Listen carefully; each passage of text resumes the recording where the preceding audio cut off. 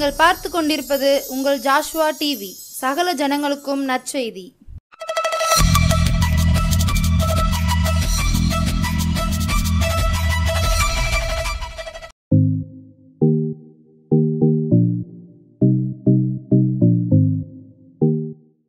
பிரைசலாட் இன்றைய எப்படி நீ தப்பிடுவாய் செய்தி வேளைக்கு உங்கள் யாவரையும் நான் அன்போடு கூட வரவேற்கிறேன். இன்றைய செய்திக்காக ஒரு நிமிடம் நாம் தலைகளை தாழ்த்தி ஜெபிக்கப் போகிறோம். என்னோடு கூட சேர்ந்து பரத்தை நோக்கி பாருங்கள். அன்பு நிறைந்த தகப்பனை ஆசிர்வதிக்கப்பட்ட நல்ல மாலை வேலைக்காய் உம்மை நன்றியோடு துதிக்கிறோம் ஸ்தோத்தரிக்கிறோம். இந்த நேரத்திலும் கூட கர்த்தாவே உம்முடைய வார்த்தையை கேட்பதற்காக நாங்கள் இங்கே கூடி வந்திருக்கிறோம். எங்களை நீர் ஒரு விசை ஆசீர்வதித்து பரத்திலிருந்து உம்முடைய வார்த்தையை நீர் எங்களுக்கு அனுப்பி தருவீராக. எங்களுடைய இருதய கண்கள் திறக்கப்படட்டும் எங்களுடைய மனக்கண்கள் திறக்கப்படட்டும். எங்களுடைய செவிகளை நாங்கள் திறந்து வைத்து உம்முடைய வார்த்தையை கேட்க அதன்படி நடக்க எங்களுக்கு கிருபை தாரும். எங்களோடு பேசும் இடைவிடும். ஆவியானவரே நீங்கள் பேசும் நாங்கள் கேட்கிறோம். எங்களோடு கூட இரும் வாசம் பண்ணும் இடைபடும் ஆவியானவர். இயேசு கிறிஸ்துவின் இனிய நாமத்தில் ஜெபிக்கிறோம். எங்கள் ஜீவனுள்ள நல்ல பிதாவே. ஆமேன் ஆமேன். பிரைஸ் அலாட் வேண்டுமா இந்த வாரம் உங்கள் யாவரையும் நான் இந்த எப்படி நீ தப்பிடுவாய் செய்தி வேளையின் வாயிலாக சந்திப்பதிலே மிகுந்த மகிழ்ச்சி அடைகிறேன். இன்றைக்கும் கூட நம்முடைய செய்தியின் தலைப்பு தேவனோடு உள்ள ஐக்கியம். அப்படியானால் நம்ம இவ்வளோ நாளும் நம்ம பார்த்துட்டு இருக்கிறது எப்படி நீ தப்பிடுவாய்? அதாவது வருகிற தண்டனைக்கு வருகிற நியாய தீர்ப்புக்கு நீ எப்படி தப்பிடுவாய் என்ற தலைப்பின் கீழே நம்ம அநேக காரியங்களை பார்த்து கொண்டு வருகிறோம். அதிலே ஒன்று தேவனோடு உள்ள ஐக்கியம். நம்ம எல்லாம் செஞ்சுட்டு அவரோடு கூட நமக்கு கனெக்ஷன் இல்லைன்னா நிச்சயமாக நம்மளால் தண்டனைக்கு தப்பித்து கொள்ள முடியாது பரலோகத்துக்கும் போய் சேர முடியாது. ஒருவேளை நீங்கள் ஒழுங்காக ஆலயத்துக்கு வருபவர்களாக இருக்கலாம். ஒழுங்காக நீங்கள் தசம பாகம் செலுத்துபவர்களாக செலுத்துபவராக காணிக்கை கொடுப்பவர்களாக இருக்கலாம். நீங்கள் எப்படி இருந்தாலும் சரி நான் உலகத்தில் ரொம்ப நல்லவனாக வாழ்கிறேன் நான் யாருக்குமே தீங்கு நினைக்கிறதில்ல. சில பேர்லாம் சொல்லுவாங்க கேட்டிருக்கீங்களா? அவன் வந்து ஒரு ஈ எறும்புக்கு கூட என்ன செய்ய மாட்டான்? தீங்கு நினைக்க மாட்டான் அப்படின்னு சொல்லுவாங்க. நீங்கள் ஒருவேளை அப்படி கூட இருக்கலாம் தவறில்லை. அது ஒரு நல்ல விஷயம்தான். அதுவும் நம்ம பரலோகத்துக்கு போகிறதுக்கான ஒரு படியை ஒளிஞ்சு நம்ம முற்றிலுமாக என்ன செய்ய முடியாது? உலக நீதிகளை அந்த நியாயங்களை நாம் வச்சுக்கிட்டு பரலோகத்துக்கு போக முடியாது. அப்போ நாம் செய்ய வேண்டிய ஒரு காரியம் தேவனோடு உள்ள ஐக்கியம். அந்த உறவில் நம்ம என்ன செய்யணும்னா ஸ்ட்ராங்காக நிற்கணும் அப்போ பைபிளில் இப்படி ஒரு வசனம் இருக்குது பாருங்க. நீங்கள் தேவனில் நிலைத்திருந்தால் அவர் என்ன செய்வாரோ? உங்களில் நிலைச்சிருப்பாரா நீங்கள் அவரோடு ஐக்கியப்பட்டிருந்தால் அவர் உங்களோட என்ன செஞ்சிருப்பார்? ஐக்கியமாக இருப்பார் அப்படியானால் தேவனோடு நான் ஐக்கியம் வச்சிருக்கிறது எப்படிங்க? நான் ஆலயத்துக்கு போகிறேன் ஜெபிக்கிறேன் வேதம் வாசிக்கிறேன். என்னுடைய காரியங்கள் எல்லாம் மிகச்சரியாய் நடக்கிறது. நான் உலகத்தில் மற்ற மனுஷங்களோடு ஒரு வேறுபாடான ஜீவியம் ஜீவிக்க வேண்டும் என்று நான் தனித்து வாழ்கிறேன். எல்லாமே இருக்கிறது. ஆனால் நீங்கள் ஐக்கியம்னு சொல்றது எனக்கு புரியலையே. தேவனோடு உள்ள ஐக்கியம் என்றால் என்ன? அப்படின்னு நீங்கள் கேட்குறவர்களா இருப்பீங்கன்னு சொன்னால் இந்த செய்தியை நீங்கள் முழுவதுமாய் கேளுங்கள். உங்களுக்கு மிகச்சரியாக விளங்கும் என்று நான் நம்புகிறேன். கர்த்தருக்குள் விசுவாசிக்கிறேன். இப்போ முதலாவது நம்முடைய ஐக்கியம் தேவனுக்கும் மனுஷனுக்கும் உள்ள ஐக்கியமாக இருக்க வேண்டும். தேவன் என்றால் நம்மளை படைத்தவர் சிருஷ்டித்தவர். அவர் மனிதனோடு ஐக்கியம் கொள்ள விரும்புகிறார். ஆதியாகம மூன்றாவது அதிகாரத்தில் நீங்கள் எடுத்து வாசித்து பார்ப்பீங்கன்னு சொன்னீங்கன்னா ஆதாமையும் ஏவாளையும் படைச்சதுக்கு அப்புறம் ஆண்டவர் அந்த ஏதேன் தோட்டத்துக்கு வரார். ஏ தோட்டத்தில் தான் அந்த ஏதேன்கிற இடத்துல அந்த ஒரு தோட்டம் இருக்குது அந்த தோட்டத்தில் தான் ஆதாமையும் ஏவாளையும் அவரை உருவாக்கி வச்சிருக்கிறாரு. வச்சிரு வச்சுட்டு நீங்கள் வாழுங்க. நிறைய சொல்லிட்டாரு. நீங்கள் பழகி பெருகி பூமியை நிரப்புங்கள். இங்கே இருக்கிற விளையிற கனியெல்லாம் நீங்கள் சாப்பிடலாம். ஒரு கனியை மட்டும் சாப்பிடக்கூடாது. அப்படி ரூல்ஸ் அண்ட் ரெகுலேஷன்ஸ் கொடுத்துட்டாரு. எல்லா ஆசீர்வாதங்களையும் கொடுத்துட்டார். அநேக கட்டளைகளையும் கொடுத்து கட்டளைக்கு கீழ்ப்படிந்தால் இப்படிப்பட்டதான ஆசீர்வாதங்கள் உங்களுக்கு உண்டு அப்படிங்கிறதையும் ரொம்ப தெளிவாக சொல்லிட்டாரு. ஆனால் சொன்னதோட அப்படி படைச்சு விட்டுட்டதோட எனக்கு என்னன்னு ஆண்டவர் என்ன செஞ்சிடல? போயிடல. மறுபடியும் வராரு. ஏங்க மறுபடியும் அவர் வரணும்? அவர் வேலை முடிஞ்சது. அவர் உலகத்தை உருவாக்கணும்னு நினைச்சாரு. உருவாக்கினார். மனிதனை படைக்க வேண்டும் என்று நினைத்தார். படைத்தார். எல்லாத்தையும் முடிச்சு மனுஷன் தனியா இருப்பது நல்லதல்ல அப்படின்னு சொல்லி அவனுக்கு ஒரு ஏற்ற துணையையும் உருவாக்கி கொடுத்தார். எல்லாம் முடிஞ்சு போச்சு. அப்ப அந்த துணையை கொடுத்ததே அவன் தனியா இருக்கக்கூடாது. பேசிட்டு இருக்கணுங்கிறதுக்காக தான். அப்போ ஏன் மறுபடியும் ஆண்டவர் வர வேண்டும்? ஆண் தேவன் மனிதனோடு ஒரு ஐக்கியம் வைத்துக் கொள்ள விரும்புகிறார். இதை கேட்டுக்கொண்டிருக்கிற எனக்கு பிரியமானவர்களே நாம் மனுஷனாய் முதல்ல கடவுளோடு கூட தேவனோடு கூட தெய்வத்தோடு கூட ஒரு ஐக்கியம் நமக்கு வேணும். அவர் எப்போ வராருன்னு பாருங்க. நான் வேணா உங்களுக்காக வாசிக்கிறேனே. மூணாவது அதிகாரம் எட்டாவது வசனத்தில் இருக்கிறது. பகலில் குளிர்ச்சியான வேலையிலே தோட்டத்தில் உலாவுகிற தேவனாகிய கர்த்தருடைய சத்தத்தை அவர்கள் கேட்டார்கள். தோட்டத்தில் என்ன பண்றாராம்? உலாவுறாராம். ஏன்னா டெய்லி வராரு. டெய்லி அவர் அவரோட ரொட்டீனாக இருக்குது ரொட்டீனாக இருக்குது ஒரு நாள் ஏதோ ஒரு நாள் வந்து விசிட் பண்ணிட்டு போகிறதில்ல ஏதோ வருஷத்துக்கு ஒரு தடவை வந்து பார்த்துட்டு போகிறதில்ல டெய்லி அவரோட ரொட்டீனாக இருக்குது பகலில் குளிர்ச்சியான வேலைன்னா மேபி இந்த ஈவினிங் நான் நினைக்கிறேன் அது ஒரு சாயங்கால வேலையாக இருக்கும். அங்கே காலையிலையும் குளிர்ச்சியாக இருந்திருக்க வாய்ப்புகள் இருக்குது இருந்தாலும் அது சில வேத பண்டிதர்களின் கருத்துப்படி அது ஈவினிங்காக இருக்கலாம். அப்போ ஈவினிங் டைமில் அவர் என்ன செய்கிறாருன்னா ஒரு சும்மா ஒரு வாக்கிங் போகலான்னா மனுஷனோடு கூட உறவாட விரும்புகிறேன். மனுஷனோடு கூட நான் ஐக்கியம் வைத்துக்கொள்ள விரும்புகிறேன் என்பதற்கான அடையாளம் தான் அது. அப்போ நமக்கும் தெய்வத்துக்கும் ஒரு ஐக்கியம் எப்போதும் இருந்து கொண்டே இருக்க வேண்டும். அது ஜெபத்தின் மூலமாகவோ வேத வாசிப்பின் மூலமாகவோ இல்லை ஆண்டவர் உங்களோடு கூட தரிசனம் மூலமாகவோ சொப்பனம் மூலமாகவோ பேசுவதோ வாட் எவர் இட் இஸ் நீங்கள் சர்ச்சுக்கு போய் போதகர் சொல்லுகிற வார்த்தைகளை நீங்கள் தெய்வ வார்த்தைகளாக ஏற்றுக்கொள்ளுகிறீர்களோ எதுவாக வேண்டுமானாலும் இருக்கலாம். ஆனால் தேவனுக்கும் மனிதனுக்கும் அதாவது படைத்தவருக்கும் படைப்பிற்கும் ஒரு ஐக்கியம் எப்பயுமே இருக்கணும். நமக்கு அந்த அந்த ஒரு கனெக்ஷன் இல்லைன்னு வைங்களேன். அந்த கனெக்ஷன் இல்லைன்னா இப்போ வீட்டில் ஒய்ஃபை இருக்குது அது அது கூட வந்து கனெக்ட் பண்ணணும். உங்கள் மொபைலை வந்து நீங்கள் கனெக்ட் பண்ணாதான் அது என்ன செய்யும்? வேலை செய்யும். நீங்கள் கனெக்ட் பண்ணாமல் நானும் ஒய்ஃபை வாங்கி வச்சுருக்கேன் நானும் மொபைல் வாங்கி வச்சுருக்கேன் அப்படின்னு சொன்னால் அது வேலை செய்யாது. அது கூட என்ன வேணும்? ஒரு கனெக்ஷன் வேணும். அதில் ஒரு ஒய்ஃபை மார்க் இருக்கும். அது நீங்கள் டச் பண்ணி உள்ளே போய் ஒய்ஃபை பாஸ்வேர்ட் கொடுத்து அதை கனெக்ட் பண்ணால் மட்டும்தான் அது உங்களுக்கு வேலை செய்யும். அப்போ உலகத்தில் இருக்கிற இப்படிப்பட்ட சின்ன சின்ன காரியங்களுக்கு ஒரு கனெக்டிவிட்டி தேவைப்படும் போது நம்மை படைத்த தேவனுக்கும் நமக்கும் என்ன செய்யணும்? நிச்சயமாய் ஒரு ஐக்கியம் ஒரு ஈடுபாடு ஒரு உறவு அப்படின்னு சொல்லலாம். அது ஒரு ரிலேஷன்ஷிப்னு சொல்லலாம். அப்படிப்பட்டதான ஒரு உறவு இருக்க வேண்டும்.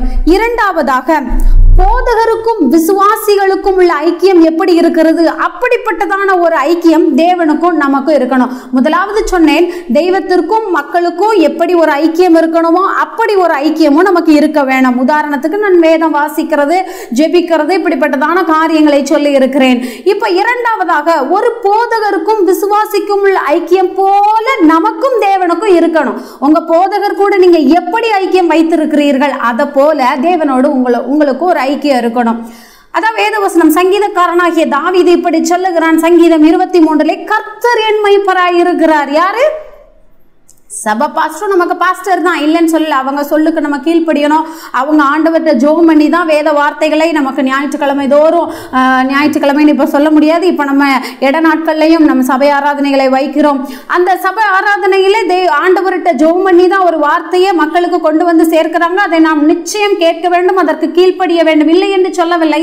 அதுபோல ஒரு ஐக்கியம் ஆண்டவரோடும் நமக்கு ஆண்டவருக்கும் நமக்கும் இருக்கிறதா என்று சோதித்து பார்க்க வேண்டும். பைபிள் ஒரு வசனம் இருக்குது கவனிச்சிங்கன்னா நம்மை நாமே நிதானித்து அறிந்தால் நம்ம என்ன செய்ய மாட்டோமா? நியாயம் தீர்க்கப்பட மாட்டோம். நீங்க உங்களையே உயிர்த்து ஆராய்ந்து சோதித்து அறியுங்கள்.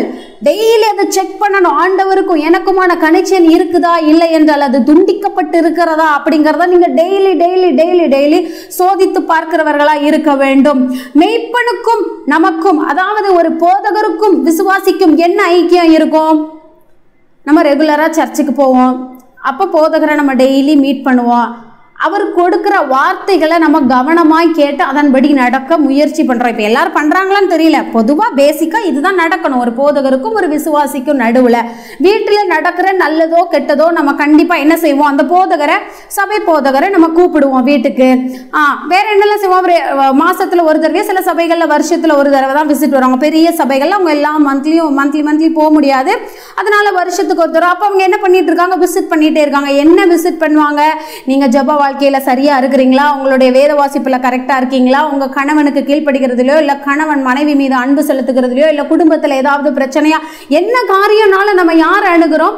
போதகரை அணுகிறோம். அப்படியானால் ஆண்டவருக்கும் நமக்கும் இப்படிப்பட்டதான ஒரு ஐக்கியம். என் வீட்டில் ஒரு நல்ல காரியம் நடக்க போதா? நான் முதலாவது போய் நான் முழங்கால் படிட்டு ஆண்டவரிடத்துல கேட்கிறேன். அப்படின்னு சொல்றவங்க இங்க எத்தனை பேர் இருக்கீங்கன்னு எனக்கு தெரியல.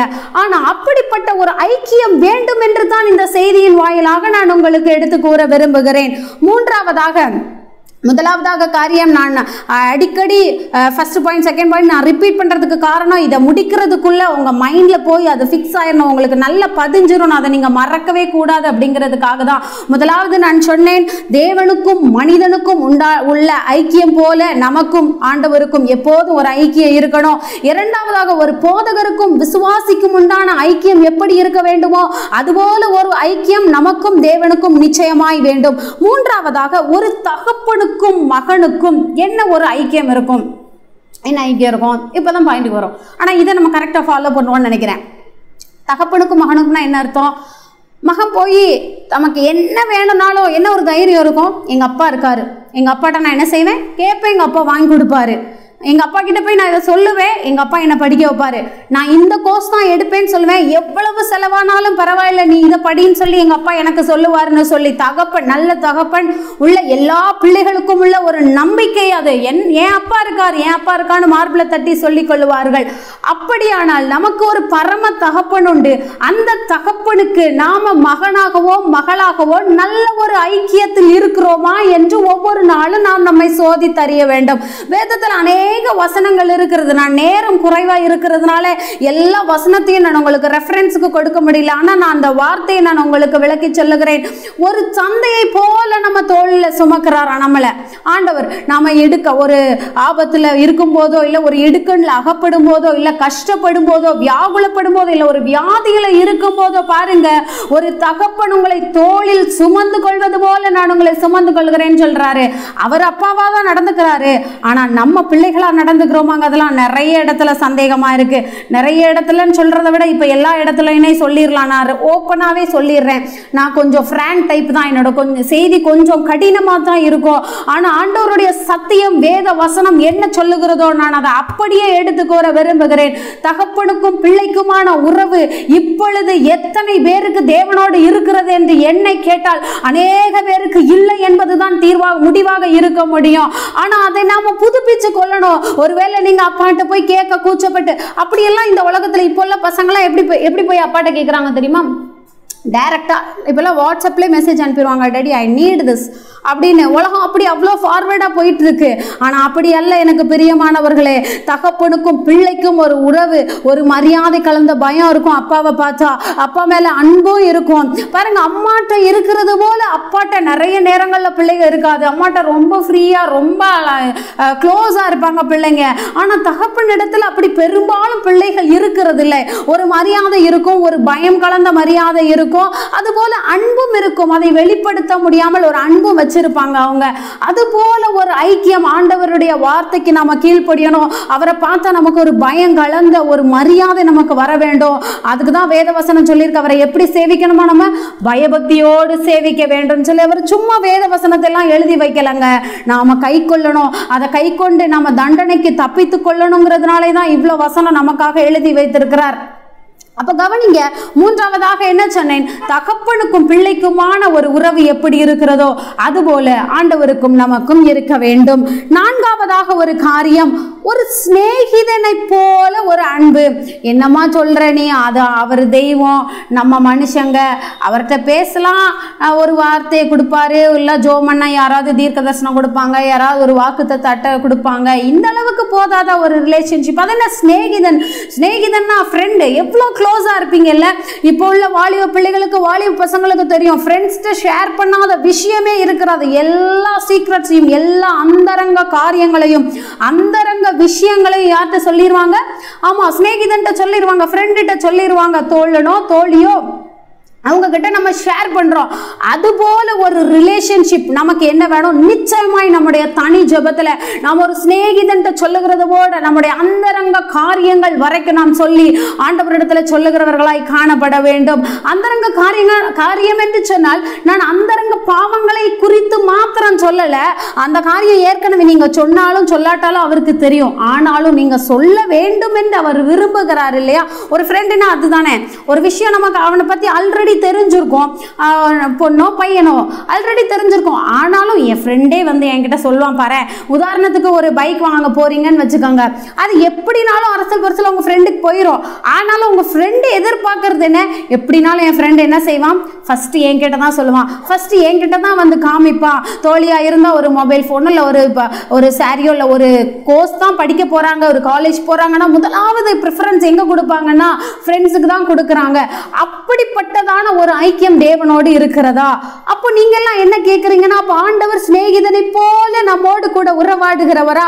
அப்படிங்கிற சந்தேகம் எழுந்தால் அதற்கு ஆம் என்று பதில் கூறுகிறேன். ஆண்டவர் ஒரு சிநேகிதனை போல சிநேகிதனே என்று அழைத்திருக்கிறார். புதிய ஏற்பாடுல பாத்தீங்கன்னா யூதாச கூட தனக்கு துரோகம் பண்ண போறான். அப்ப அந்த சமயத்துல கூட என்ன சொல்றாரு? சிநேகிதனே அப்படின்னு கூப்பிடுறாரு. ஆபிரகாம சொல்றாரு. ஆபிரகாமே சிநேகிதன்னு சொல்றாரு. நான் செய்ய போறது அவனுக்கு மறைப்பேனோ? ஏன்? எதையும் மறைக்க மாட்டோம். ஃப்ரெண்டுகிட்ட எதையுமே மறைக்க மாட்டோம். அது தவறோ சரியோ என்ன வேணால் இருக்கட்டுமே. அதை நம்ம என்ன செய்ய மாட்டோம்? மறைக்கணும்னு துளி அளவும் நினைக்க மாட்டோம். அப்போ ஆண்டவர் சொல்கிறார் ஒரு இடத்துல சோதம் குமாராவை அழிக்க போகிறார். அழிக்க போகிறதுக்கு முன்னால் எங்கே வராரு? ஆமாம் ஆபிரகாம் கிட்ட வராரு. அவர் அழிக்க போகிறவர் போயிட்டு அழிச்சிட்டு போயிட்டே இருக்க வேண்டியதானங்க. சோதம் குமார் எங்கே இருக்கு? ஆபிரகாம் எங்கே இருக்காரு? ஏன் மெனக்கட்டு இங்கே வந்து இன்ஃபார்ம் பண்ணிட்டு போகிறாரு நான் செய்ய போகிறத ஏன் ஆபிரகாமுக்கு நான் மறைக்க முடியுமா? நான் அப்படி மறைச்சேனா நான் அவனுக்கு சிநேகிதன் இல்லையே. நான் அவனோடு ஒரு சிநேகிதனை போல நான் பழகி இருக்கிறேனே என்று ஆண்டவர் அவங்க வந்து இன்ஃபார்ம் பண்ணிட்டு போறாரு. அப்ப பாருங்க எவ்வளவாய் நேசித்திருக்கிறார். சிநேகிதனை காட்டிலும் அதிக சொந்தமாய் சிநேகிப்பவர் இல்லைன்னு சொல்லி சாலமன் ஞானி அவ்வளோ அழகா எழுதியிருக்காரு. சிநேகிதனை போல ஒரு ஃப்ரெண்டை போல நேசிக்க முடியாதான். அந்த அளவு அந்த நேசத்தை உயர்த்தி எழுதியிருக்கிறது வேதாகமத்தில். அப்படியானால் நமக்கும் தேவனுக்கும் இடைப்பட்ட ஒரு ஐக்கியம் ஒரு சிநேகிதனை போல ஒரு ஃப்ரெண்டுகிட்ட நம்ம எப்படி இருப்போமோ அப்படிப்பட்டதான ஒரு ஐக்கியம் நமக்கு வேண்டும். ஐந்தாவதாக ஒரே ஒரு காரியம் நான் சொல்லி செய்தியை நிறைவு செய்யலாம் என்று விரும்புகிறேன். மணவாளன் மணவாட்டி இது தாங்க ரொம்ப முக்கியம். வேதத்தில் இருக்கு நான் இங்கே வரும்போது என்ன செய்யணும்? நீ மணவாட்டி சபையாகிய மணவாட்டியை எடுத்துக்கொள்ள நான் என்ன செய்ய போறேன்? மீண்டுமாய் வரப்போகிறேன்னு சொல்றாரு.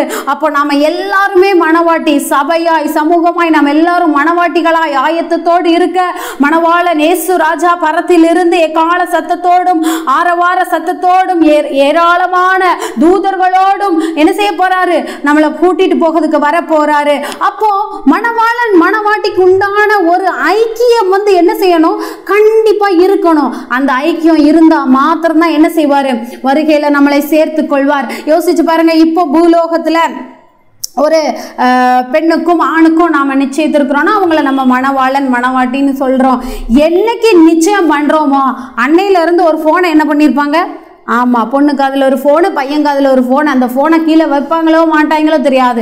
அது எந்த நேரமும் காதில் அது தூங்கினாலும் சரி இருக்கும். இப்போல்லாம் தூங்கினாலும் எழுந்தாலும் தான் இருந்துட்டு இருந்துச்சு. இப்போல்லாம் பாத்ரூம்லேயும் இருக்குது. பாத்ரூம் போனாலும் என்ன செய்வாங்க? அதை கொண்டுகிட்டே தான் போவாங்க. அந்த அளவு ஒரு ஈர்ப்பு. ஏன்னா நான் என்ன செய்ய போகிறேன் அந்த பொண்ணை கல்யாணம் பண்ணிக்க போகிறேன் ஏன்னா நான் அந்த ஆணை திருமணம் செய்து கொள்ள போகிறேன்.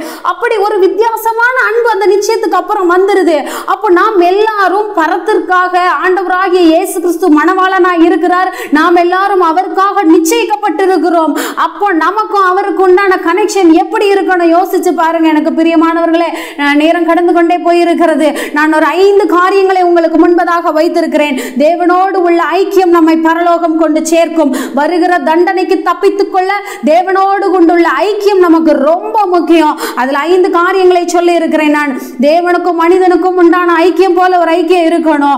போதகருக்கும் விசுவாசிகளுக்கும் உள்ள ஐக்கியம் போல நமக்கும் தேவனுக்கும் இருக்க வேண்டும். அப்புறம் மூன்றாவதாக ஒரு காரியம் சொன்னேன். தகப்பனுக்கும் பிள்ளைக்கும் ஒரு ஐக்கியம் எப்படி இருக்கிறதோ அதுபோல ஒரு ஐக்கியம் தகப்பனாகிய இயேசு கிறிஸ்துவுக்கும் நமக்கும் இருக்கணும். நான்காவதாக ஒரு சிநேகிதனுக்கு சிநேகிதனுக்கு நம்ம என்ன முக்கியத்துவம் கொடுக்கிறோம்? ஒரு சிநேகிதனோடு எவ்வளவு நெருக்கமாக பழகுறோம் அப்படிப்பட்ட ஒரு நெருங்கிய ஐக்கியம் தேவனோடு கூட நமக்கு இருக்கணும். ஐந்தாவதாக ரொம்ப முக்கியமான காரியம் இது ரொம்ப ஆழமான சத்தியம். நான் சுருக்கமாக ஒரே வார்த்தையில் சொல்கிறேன் மணவாளன் மணவாட்டிக்குரிய ஒரு ஐக்கியம் நமக்கும் தேவனுக்குமாய் நிச்சயமாய் காணப்பட வேண்டும். இந்த ஐந்து காரியங்களும் இந்த ஐக்கியங்கள் உங்களுக்குள்ளே காணப்படுமானால் வருகிற தண்டனைக்கு நீங்கள் தப்பித்துக் கொள்ளப்படுவீர்கள். பரலோக ராஜ்யத்தில் சேர்த்து கொள்ளப்படுவீர்கள். கண்களை மூடி ஜெபிக்கலாம். ஹலலோ யாமை துதிக்கிறோமை துதிக்கிறோமை துதிக்கிற தகப்பனை. நன்றி ராஜா. உம்முடைய வார்த்தைகளுக்காக நன்றி. உம்முடைய இடைபடுதலுக்காக நன்றி தகப்பனை நன்றி தகப்பனே. நீர் எங்களுக்கு கற்றுக் கொடுத்த உம்முடைய வேத வாக்கியங்களுக்காய் நன்றி செலுத்துகிறோம். இந்த வசனங்களை நாங்கள் செவியை கொடுத்து எங்களுடைய இருதயத்தை திறந்து கேட்டிருக்கிறோம். அப்பா அதை எங்களுடைய வாழ்க்கையில நாங்கள் அத்தியாசப்படுத்த பிரயோஜனப்படுத்த எங்களுக்கு நீர் உதவி செய்வீராக. நாங்கள் இதையெல்லாம் கேட்டு அப்படியே போயிடக்கூடாது. நீங்கள் திருவசனத்தை கேட்கிறவர்களாய் மாத்திரம் அல்ல அதன்படி செய்கிறவர்களாயும் இருங்கள் நடக்கிறவர்களாயும் இருங்கள் என்ற வேத வசனத்தின்படி நாங்கள் நடக்க எங்களுக்கு உதவி செய்யும். நாங்கள் இதுவரை உமோடு கூட உள்ள ஐக்கியம் இல்லாமல் இருந்திருக்கலாம். உமோடு கூட ஒரு உறவு எங்களுக்கு இல்லாமல் இருந்திருக்கலாம். ஆனால் இப்பொழுது நாங்கள் அதை புதுப்பித்துக் கொள்ள விரும்புகிறோம். இந்த நிமிஷத்திலிருந்து உமோடு கூட உள்ள ஐக்கியத்தில் நாங்கள் நிலை நிலை கொண்டு இருக்க நிலைநாட்டப்பட்டு இருக்க எங்களுக்கு உதவி செய்வீராக. மீதியான வேலையை அப்பாவுடைய கரத்தில் தருகிறோம். எல்லா பிள்ளைகளையும் ஆசீர்வதியும். செய்தி கேட்ட ஒவ்வொரு பிள்ளைகளையும் தனித்தனியாய் பேர் பேராய் நீர் ஆசீர்வதிப்பீராக. வேத வசனத்துக்கு இருதயத்தை திறந்து கொடுத்த எல்லா பிள்ளைகளையும் நீர் அபரிதமாய் ஆசீர்வதிக்கும்படியாய் இடத்துல கெஞ்சு மண்டாடுகிறேன் மீட்பரே கிறிஸ்துவின் இனிய நாமத்தில் ஜெபிக்கிறோம். எங்கள் ஜீவனுள்ள நல்ல பிதாவே. ஆமேன் ஆமேன். Praise the Lord. Thank you.